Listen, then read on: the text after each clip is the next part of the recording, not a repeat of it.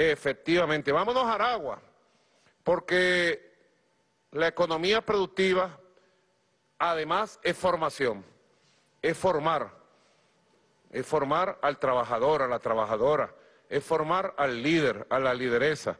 Vámonos directo al núcleo de formación agroecológica socialista Indio Rangel.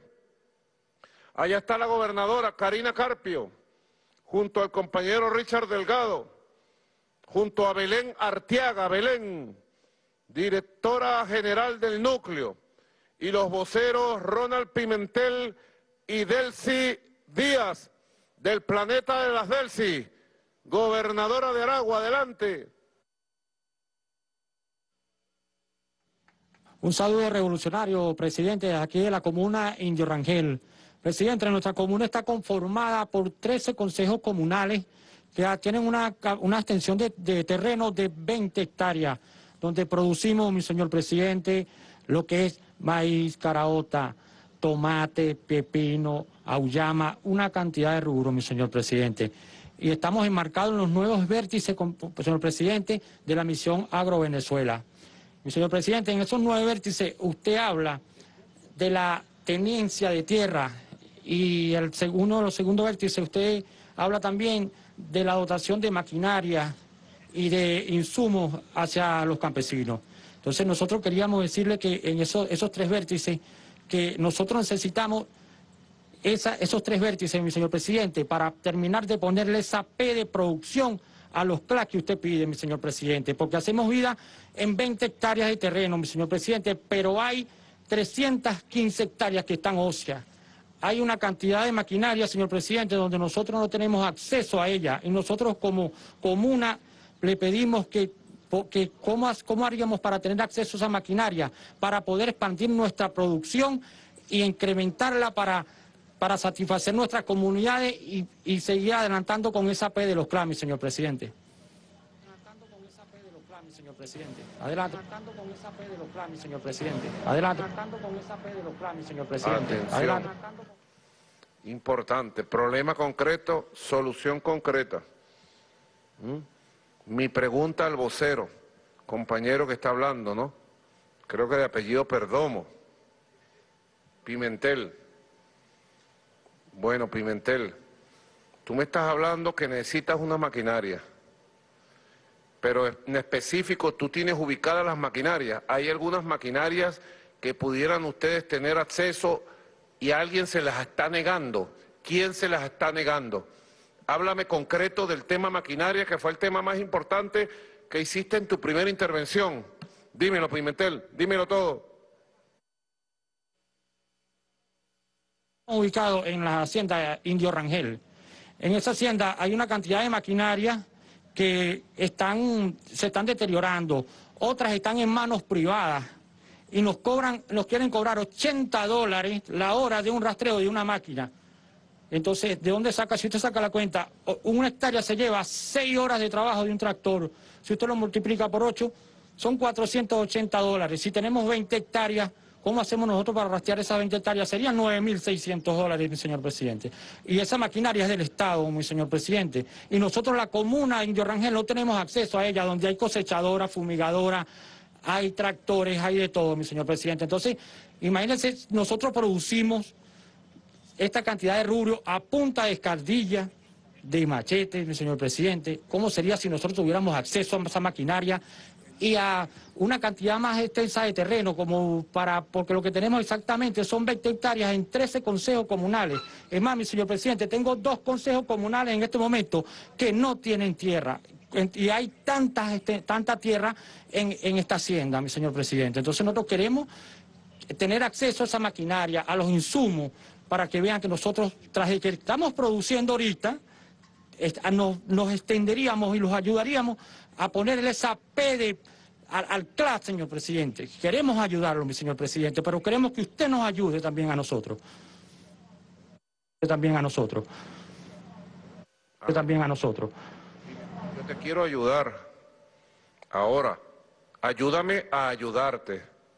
Porque a esta altura no entiendo lo que tú me estás pidiendo, Pimentel. No lo entiendo. Tú me estás pidiendo que te dé unas maquinarias que le pertenecen al gobierno o que te dé unas maquinarias que le pertenecen a unos privados.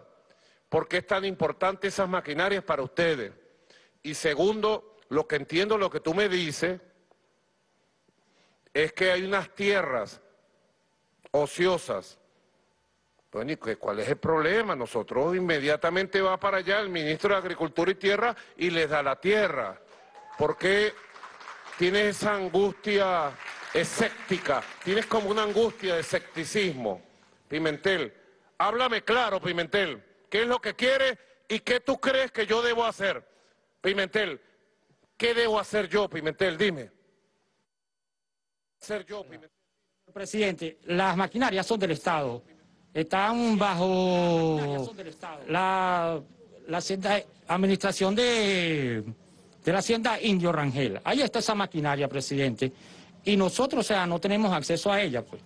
No, no hay forma de que, de que tengamos acceso. Y Pimentel, ¿dónde estás tú ahorita? ¿Quién eres tú? Tú no eres la hacienda Indio, Rangel. Mi señor presidente, estoy en la hacienda, en la comuna Indio Rangel. Y allí en esos previos, ¿dónde están esas, esas maquinarias? Entiendo, porque si tú eres vocero de la hacienda y de la comuna Indio Rangel, las maquinarias deberían estar en tu mano. ¿Quién te impide acceder a la maquinaria? Dime nombre y apellido, denúnciame la persona. bueno, mi señor presidente, que no nos deja acceder a la, a maquinaria es el, coronel Peroso, es el que está a cargo de la maquinaria. Hemos hablado con él y de la empresa Maizanta, señor presidente, y no tenemos acceso a esta maquinaria. Ya hemos hablado con él y no hay manera, pues, señor presidente. Por favor, que nos dé una respuesta sobre este asunto que Pimentel está planteando. Gracias, Pimentel. Ahora, ten la seguridad que mañana a primera hora, al amanecer, el ministro de la Presidencia, general Jorge Márquez, va a estar allá atendiendo todos estos asuntos que tú me estás diciendo para regularizar, arreglar, resolver, solucionar. Bueno, ahí está Castro Soteldo, también se activó Castro Soteldo. Excelente, Pimentel. Me parece muy bien que vayamos desatando los nudos para lograr atender mayor cantidad de hectáreas productivas y para lograr producir aún más.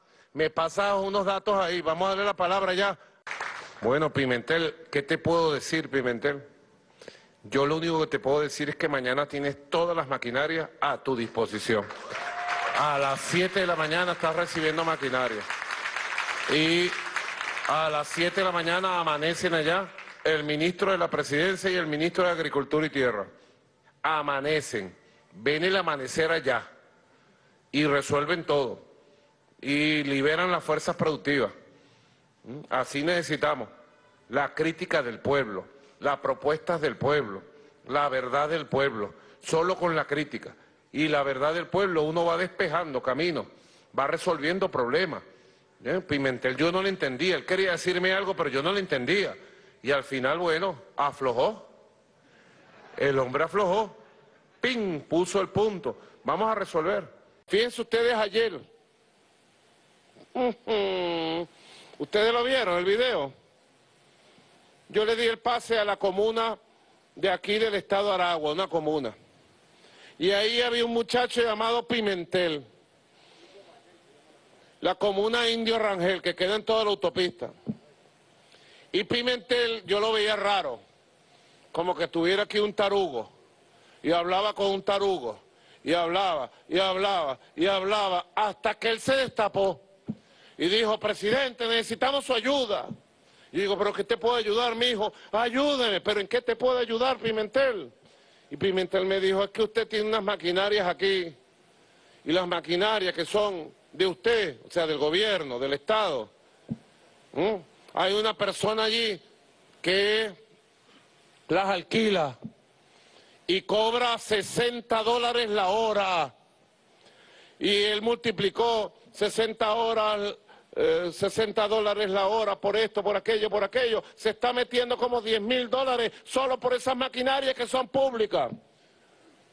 Fue valiente Pimentel. Te felicito Pimentel y a toda la comuna de Indio Rangel. ¿Qué hicimos? A las 6 de la mañana amaneció en el terreno el ministro de la Presidencia de la República, general Jorge Márquez, y el ministro de Agricultura y Tierra, Castro Soteldo. Los envié para allá. Se reunieron a las seis y media de la mañana, vieron la situación y en el terreno confirmaron la denuncia. Se estaba cometiendo el acto de corrupción más grande que se pueda cometer, que era quitarle las maquinarias al pueblo y alquilárselas por un pago allí. Yo he pedido que este caso sea llevado inmediatamente a la Fiscalía y actúe la justicia y haya justicia con los responsables directos de este caso que denunció Pimentel.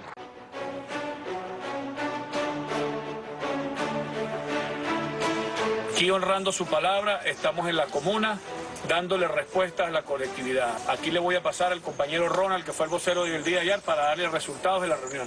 Muchas gracias a mi presidente por habernos atendido. Aquí está el, el general Castro Soteldo, nos están atendiendo con la petición que le hicimos ayer. Vinieron a, a inspeccionar y ya nos están ayudando. Agradecido, mi señor presidente, con todo lo que está haciendo con la comuna, pues nosotros estamos con usted adelante. Comuna o nada, mi señor presidente.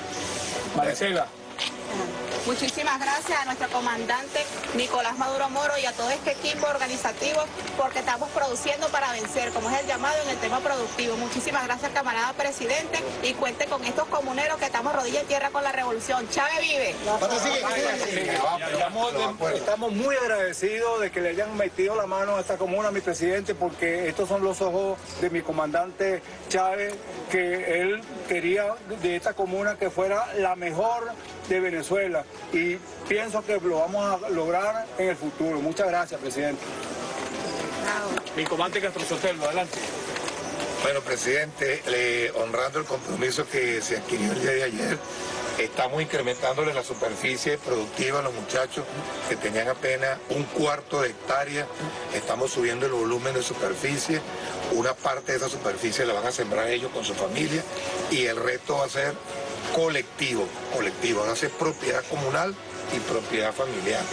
Eso en primer lugar. En segundo lugar, la mecanización, que ya definimos un esquema de cómo lo vamos a apoyar con la mecanización, va a ser un apoyo recíproco, nosotros vamos a poner la maquinaria, ellos nos van a apoyar con algunos consumibles como el combustible, la grasa, el, el- el aceite, el tractor, los maquinistas, porque ellos tienen maquinistas también que van a apoyar y no le van a cobrar absolutamente nada.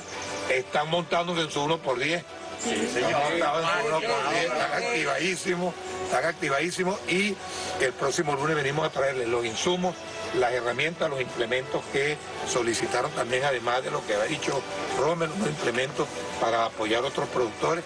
O sea que aquí va a salir una jornada bien hermosa y el general Márquez y mi persona vamos a estar supervisando permanentemente los avances.